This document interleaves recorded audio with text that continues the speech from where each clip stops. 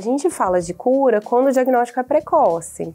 Então, quanto mais, quanto menor o nódulo, por exemplo, às vezes a gente pega só calcificações, né, um carcinoma bem inicial, a gente fala de cura.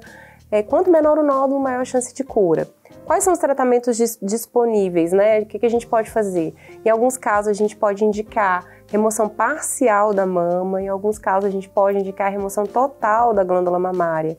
Mas o que a gente tem hoje em dia em mãos é, realiza é a realização da reconstrução mamária. Então, hoje em dia, para todo o tratamento de câncer de mama, a gente pode indicar a reconstrução das mamas imediata ou de forma tardia. Então, muitas pacientes que já vão ser submetidas à remoção total das mamas, ela é, já é inserido nessa paciente uma prótese, um expansor das mamas, para que ela não se sinta mutilada né? E em alguns casos, outros casos, que não vai retirar total, a gente faz um quadrante com remodelamento ali da mama, né? Que é o tratamento também, e aí complementa com radioterapia. Em casos de pacientes que já removeram a mama, daí tem que passar para fazer uma reconstrução de forma tardia. Mas a preferência atualmente é para tirou, já reconstrói no mesmo, no mesmo tempo cirúrgico.